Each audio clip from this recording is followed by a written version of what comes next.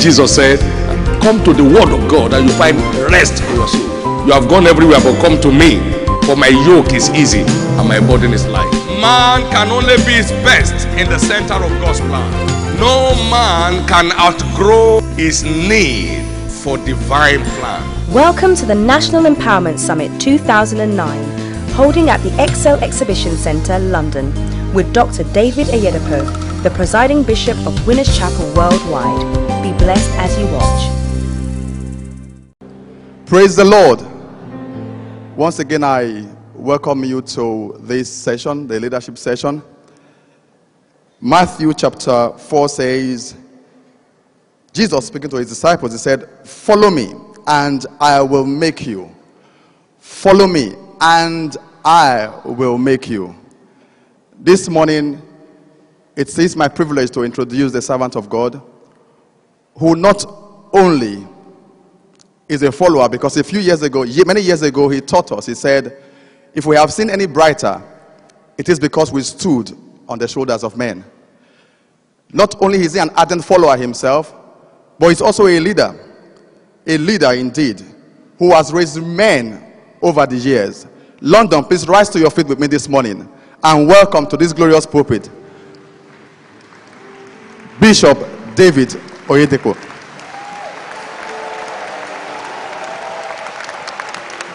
Give Jesus a big, big hand.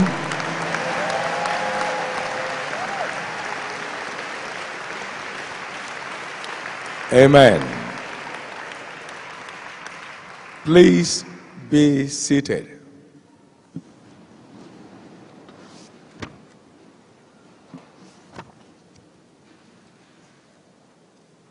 I'd like us to be extremely sensitive this morning as we go through these lectures on leadership. You know, people in church are so used to preaching and they get so lost with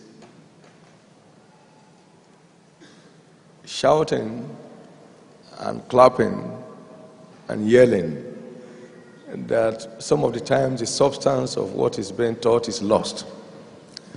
But I'd like you to be very sensitive this morning because I'll be taking us through a journey. You may never find it in any book. It's uh, speaking directly to your destiny in order for you to maximize God's glorious plan and purpose for your life. In all generations, there are more workers than there are leaders. Why? It's only credentials that guarantee you a job. But sacrifice is what makes a leader. Schooling will get you a job, but it's committed to continuous learning that makes a leader. Certificate makes a worker, but investment of time, energy, and resources makes a leader. Certificate makes a worker, it is investment that makes a leader. That is why there are always more workers than there are leaders in every generation.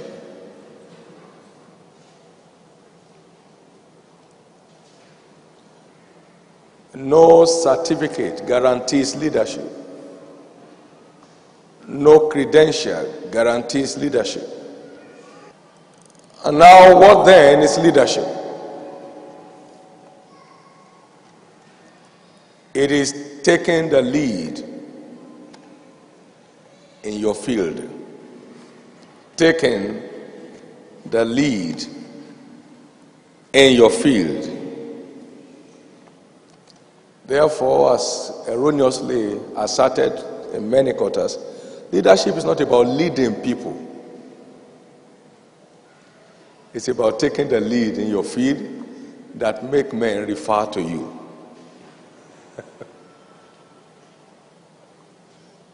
Taking the lead in your field that makes men refer to you. Therefore, leadership is not occupying a position, it is making outstanding contributions. Leadership is not occupying a position, it is making outstanding contributions. I mean, there are many companies, and all the companies have presidents. But you know the president, past president. Microsoft has a president. Dell Corporation has a president. IBM has a president. And every other company, any other way in the world, has president. But you know, president, past president. Amen. So it's not occupying a position, it is making outstanding contributions. Leadership is not occupying a seat, it is accomplishing a feat. Leadership is not occupying a seat, it is accomplishing a feat. F E A T.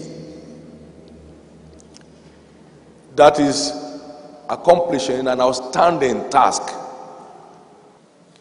So we can go ahead and, and assert that leadership is taking the lead, not talking the lead. Taking the lead, not talking the lead.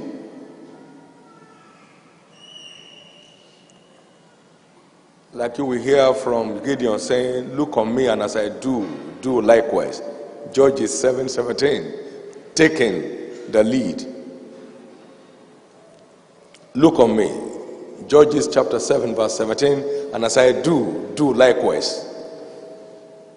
So leadership is not about propounding principles, it's about showing the examples. Amen. It's not about teaching principles, it's about living by or setting examples. Setting examples. Setting examples. Setting examples. It's not talking the lead, it's taking the lead.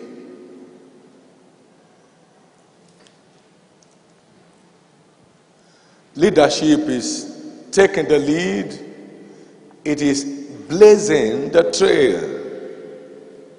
Blazing the trail. As it is said, you are the light of the world. You are the salt of the earth, and a city set on an hill that cannot be hid. You set this, this setting the pace and blazing the trail. Twenty ten men shall join themselves to the skirt of it as a Jew and say, We will go with you. That, that commanding followership by outstanding performance. Now, it's so important for us to know, just like uh, most people, when they think of leadership, what occurs to them is political leadership. No. There is leadership in every field. So you have a leading musician, a leading lawyer, a leading engineer, a leading accountant, you know, a leading academic, a leading minister. How many agree with that?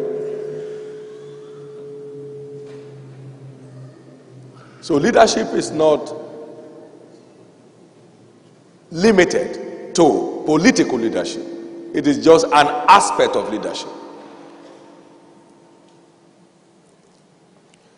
You have professional leadership, business leadership. Eh, taking the lead in your field is what makes a leader.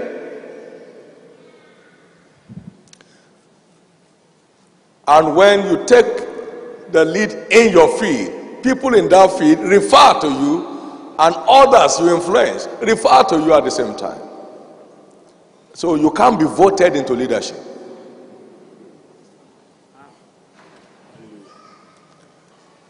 This is so crucial and very vital, and these are gross misconceptions about leadership over the years. They think it's ruling over, people. That's traditional leadership. Don't rule over people. People refer to you because of your outstanding accomplishment in that field. A leading lawyer gets natural reference. He will not be voted by any lawyer as their leader, but by virtue of his leading role in legal practice, they refer to him. And in their arguments, they make reference upon reference on the cases he has handled to plead their case. And the number of cases he has won defines his rating. I love what Oprah Winfrey said. He said, Excellence is the greatest deterrent to racism and sexism. Nobody cares whether you're a woman or a man, just get the result. Don't you see some women stars in Olympic Games?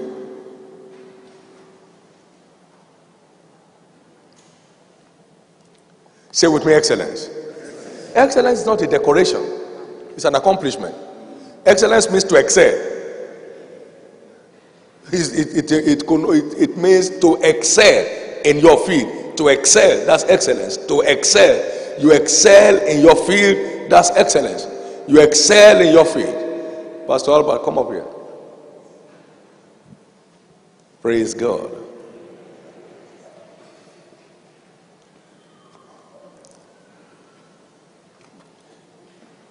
It means to excel. And to excel is to accomplish. So it's not somebody voting for you or somebody not voting for you. When you excel in your field, you emerge a leader in that field. You emerge a leader in that field. And I want us to please know that that is the crux of the matter. Now, I'll be showing you very shortly. Now, there are some other erroneous assertions on leadership. For instance, it is also commonly said that leadership occurs on three platforms. They say some are born leaders. Nothing can be far from the truth than that. Others have leadership, leadership trusted on them, and that some achieve greatness. You see, some are born great, he said, others have greatness trusted on them, and then some others achieve greatness. Apart from that last one, all others are erroneous. Have you ever met a born doctor and then opens a clinic and he says, I'm a born doctor? Have you ever flown in the aircraft of a bomb pilot?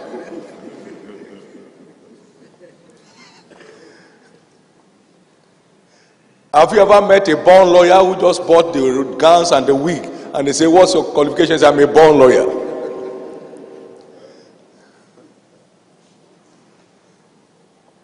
Because there are not no born lawyers, there cannot be a born leading lawyer.